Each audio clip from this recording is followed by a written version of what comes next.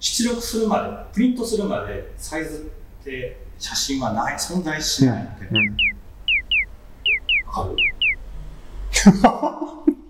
どういうこと？プリントするまで。えーと。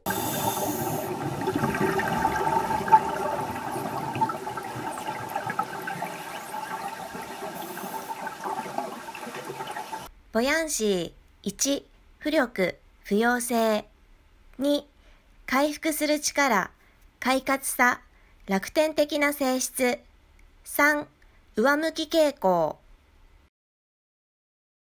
こんにちは、マシマシマリスです。本日は六本木のクリアギャラリー東京で開催中の古賀学さんの個展、ボヤンシーのギャラリートークをお届けしていきます。東京都における新型コロナウイルス感染症のリスクのため、ギャラリートークなどのイベントは開けませんし、遠方の方は来場をしていただくことも厳しいかと思われます。そこでですね、えこの動画を収録する形で作品とその背景をお伝えしていければと思います。えではですね、本日の出演者を紹介いたします。美術編集者、評論家、東京都立大学准教授の楠見清さんです。よろしくお願いします。はい、くすみです。よろしくお願いしま お願いす。します。続いて、ボヤンシー展の作者、アーティストの古賀学さんです。よろしくお願いします。最後に、私、ボヤンシー展のモデルを担当いたしました、マシマシマリスです。よろしくお願いいたします。では、早速なんですけど、え古賀さんから展示している作品の紹介をお願いいたします。はい一昨年2018年にタイと台湾で展示して今年日本に戻ってきた作品なんですけどこの辺も。うん、ですみさんとは夜な夜なチャットとかで こう雑談してたんですけどいや、芸術談義。芸いや芸術演劇雑談じゃないです、芸術談義してたんですけど古賀君の作品は写真といってもいわゆるこうポートレートとかとは違うジャンルなんじゃないか、うん、でもっと正確に言うと写真じゃなくて写真の模型なんじゃないか。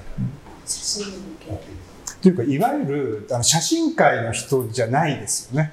そうですね、ええ。経歴的にうも、ん、こう水中人相とかで出てくる前は完全にデザイナーですし、あの写真雑誌とか写真のコンペとかで賞を取ったりとかっていう経緯もないですね、ええでもど明らかに写真なんですよ。写真に見えるし、ええ。初期は写真集って言って自分も、うん。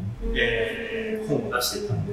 あそうだカメラを使ってるけど写真じゃないんじゃないかっていう話をしてたんですね。例えばこれは、えーシマリスちゃんとシマリスちゃんがトマトを食べさせ合ってるらしいんですけど、あのシマリスちゃんを1回撮影してで反対側を向いてもらってもう1回撮影して、それをフォトショップの画面上で一つの本を作るとか、まあ、これもシマリスちゃんがうん水面から降りてきて、えー自由に開いた泳いでるのをずっと連射で追いかけて、うん。それを組み立ててうん。一つのビジュアルを作ると。かで少なくとも12345人うん。シャ 6, 6回シャッターが開いていて、うん。えー写真の人たちがみんなもう瞬間を切り取る。瞬間が永遠になるとか、完全に反していてあの決定的瞬間とかっていうやつですよね。あああれとはもう全く違う。違うジャンルですよね、えー、1枚の平面に6つの時間。がうーんなるほど。あの背中にモーターを背負ってる作品も、まあ、実はモーターの部分は、うん。モデラーさんが作った模型なんですよ、うん。実際ね撮影の時は何もつけずにそうそうそう。こういうのがあってそう。背中に動力がついて、前に向かって押されてるから、うん。そういうポーズをとってっていう。じゃあ演技なんだ、演技あれはね。でも結果オーライでできた。みたいなあれは後からフォトショップで、僕の部屋で最後撮影した模型と合成していて、これは、えー縮尺が違うものが一つの平面上、うーん。なるほでここには展示してないんですけど原宿の街をシマリスちゃんが漂ってる作品のシリーズが、こうプールで撮影したシマリスちゃんに合わせて人のいない原宿で背景を別に撮って合成した違う空間が、うん。えー一つの平面の中にあるっていう。で時間と空間と縮尺をシャッターを切ることで収集して、それをこうフォトショップ上で組み立てる工作をして、なるほど。プラモデルの組み立てと近くて、うんうんうんアッセンブルアッセンブル、うんタイヤを一生懸命し、車輪を一生懸命仕上げて、なるほど。シートを一生懸命仕上げて、うんで車のボディを磨いて、それを最後にこう一つの組み立てて組みいく。うん立てていく。じゃあもうそれぞれがなんかパーツみたいな。そう。この平面作品のパーツみたいな。パーツをシャッターを切ったやつ。すごそう。それをシャッターで切るわけですね。シャッターで。シャッターで集めるわけですね。なるほど。もうやってることは写真ではなく、えー模型だ。えー、けどこれはなんか言葉最初なかったんですよね。うん。なんて言ったら、あれもやってる、そう。写真機を使ってるんだけど、写真じゃない。じゃあ何をやってるんだっていう時に、やっぱり模型を作ってるんじゃないのっていう話をして、で、やっぱり行為としてはモデリングでしょう。やっぱ組み立ててるし。で、ああの、パーツを集めてね。っていう時に、えーと、かつて、それこそ写真誌の中にピクトリアリズムっていうはい動向があったりもしましたけども、でそれに習って言うなら、ピクトリアルなこうモデリングをしてるんだろうなっていう。やっぱ平面に最終的にに落とし込むっていうところも重要だと思ってて、あの、大昔に古賀君が10代の頃に模型を、こう写真撮って、それで模型雑誌に送るっていう時に、もうそこですでにもう写真の合成をしてたわけでしょ。17歳の時に模型雑誌の写真コンテストに写真をカッターで切り貼りしてそれをもう一回複写した、えー最終的に写真に見えるものを応募していて。普通の人は模型をいっぱい並べたのを一発撮りしたのを送るんだけど、すでに量産型のそうそうモビルスーツをいっぱい撮ったやつをたくさんプリントしたのをプリントしてね。こえー、切り張りしてああのコラージュをしてコラージそう。これは分かりやすいですね。分かりやすく言うとコラージュ。でフォトショップとかの概念のフォトショップの発売が91年でレイヤーができたのが93年なんで89年のコンテストにすごいじゃん。そう。めっちゃなんかさ、うん。超超先端な気もするけどフィルム写真の前夜まで話を戻すと、うんうん150年ぐらい前の技術なんですよね。そうだねそうなんですね。最終的に美しい絵に仕上げるために写真をどんどんどんどん加工していって絵画的に作っていくっていうのがピクトリアリズムだったんですけど、うん、まず高校生高校生ね小川学17歳。で、そそれが9年遅れなのか、あるいは 早かったのか、フォトショップより早かったのフォトショップよりか。で、しかも今やってることに通じてるっていう、それがなん30年前か、そう。それが驚きだったよね。そういう17歳の子が学ぶがベースとなって、今なんか、こう今いうところに行き着いてるみたいな。で水中撮影自体がそもそも特殊撮影だから、うん。あんまりみんな切り刻んだりしないし、うん。撮影が上手ですねとか、うん。合成が上手ですね、うん。そういうことは割とどどうでもよくなってくるわけです。そうだね。技術の透明化っていうか、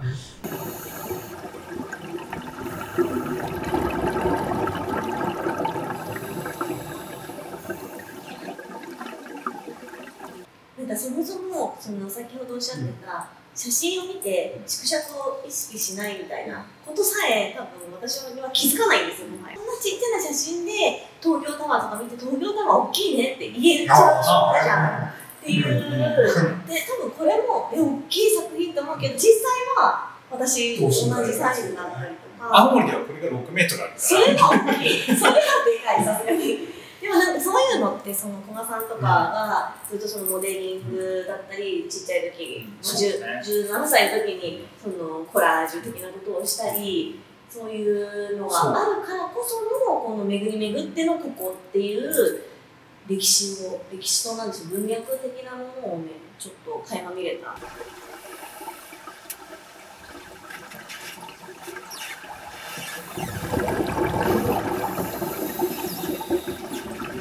カメラを使った。うん。模型とこまで行って、でじゃあもう写真っていうルックにこだわる必要はなくなっちゃったんじゃないの？っていうところで去年作ったのが「キューブ」っていう作品集と作品展、あの粒の粒も粒もその範囲のえっと粒はそれより前に。うん。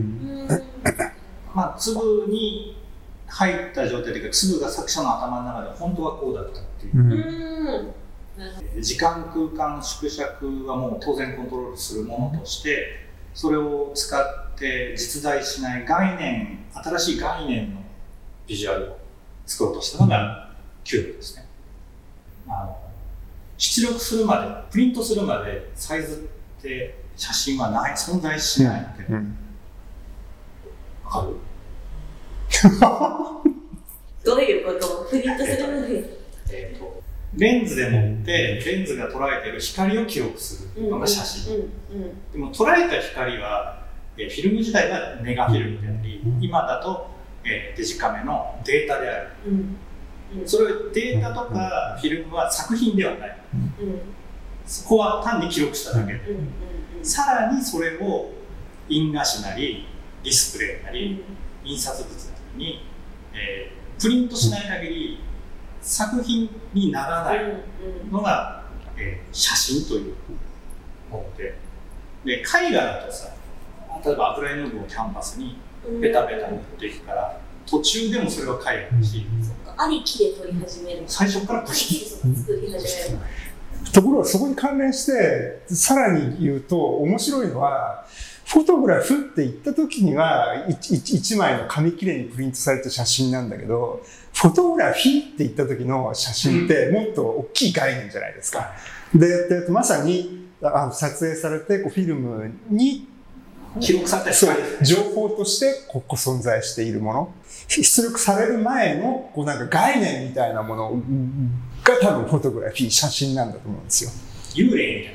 そうね。うんうん。僕はグラフィックデザイナーだから、え納品して印刷なりこうされない限り、データ、入稿データって 物にならないうんうん。自分が普段向かい合ってるのは入稿データであって、うんイラストレーター、アドビで作った、うんうんうんまあ、こ僕のそれもフォトショップのデータなんだけど、そのデータって実は情報でしかないから、うん。幽霊みたいなもんで、で、こうキューブ作るときに、どんどんどんどんうん。概念で、本当はあんなものないんだけど、こう、エミちゃんをいろんな方向から撮影して、それを1枚画面うんに集合させて、えー最終的にまだ印画紙でプリントして、うん。えー写真。あだから印画紙にプリントしたからフォトグラフに。なんだけどもいわゆるフォトグラフィーとはちょっと違うところにいるのかもしれないっていう話。すごく面白い作品が去年できて、自分もはしゃいでたし、まあ、今も今でも大好きなんだけどこうこれをもとにもっと発展できないかなと、うんうん。なんかこうあれは平面なんだけど、平面にこだわらなくてもいいんじゃないかな、お寺で展示して阿弥陀如来像を囲むように自分の作品を展示して、うん。もうあれは平面じゃないじゃないですか、こうあれで表現してるのは極楽浄土であって、別に僕の世界ではなくてうん。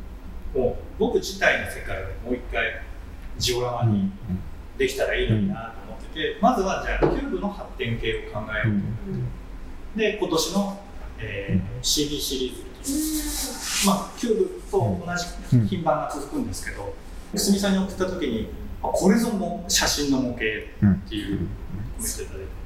なんかそのあっちの方がその私的には写真の模型っていう風なのにカチッとはまるのは多分これよりもあっちの方が分かりやすいような気がする、うん。私的に、これは写真の模型って言われても写真じゃん。と思うそうでそのさっきの、ね、一部のそのいろいろな場所から切り取ってシャッターで切り取ってそれを組み合わせるって説明を聞けば、なるほどってなるん。だけど写真の模型っていうキーワードを聞いただけだとあっちの方がハマるハマる写真の凡人の脳みそ的には。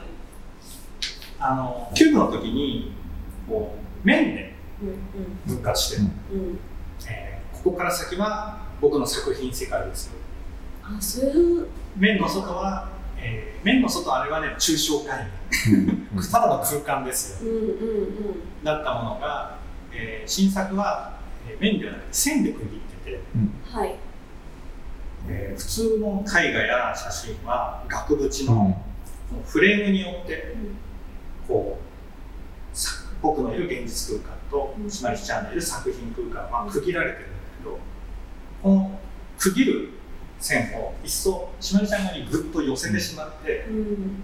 しまりちゃんの向こう側で区切ったら、うん。このしまりちゃんの俺の世界に。もうちょっとこっち側にみたいな。はこうオタク的な妄想だけどね、いはいはいはい。でもこうなんだろうテレビに映ってるスカートを下から覗いたらパンツが見えるんじゃないかとか、そういう。どういうそうなっちゃうやつだね。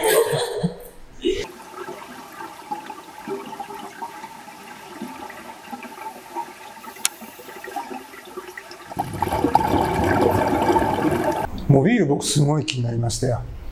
なんだこれは。どこから来たんだ技術そのものは1931年ですっけ。うん。アレクサンダー・カルガーっていう人が発明した。作品集持ってきました。よモビール。ああ。なるほど。モビールはインテリアの商品とかじゃなくてもともと彫刻作品だったんですよね、うん、初代キネティックアート。そうだねで多分これもなんて言ったらいいのかな彫刻作品なんだけど実は平面みたいな。だから抽象絵画を部分的に切り出してそれを空間に配置してでしかもう動きを持たせたみたいなことなのかな。あの作品は平面だけど平面写真だけど立体作品。で写真のシマリスちゃんは止まってる静止画だけど、うん常に動いてるので、えー動きがある作品だし、うん。で糸で吊るされてるから重力がないと表現できないけど、表現してるのは浮力だし、あ難しい。えー。浮遊してるよね。なんかさ、で賀さんのさ、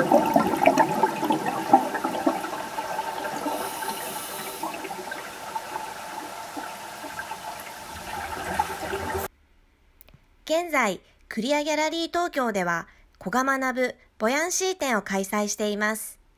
営業時間は12時から18時まで。日曜日、月曜日、祝日はお休みなのでご注意ください。詳しくは概要欄をご覧ください。9月26日土曜日までモビールとして浮遊しています。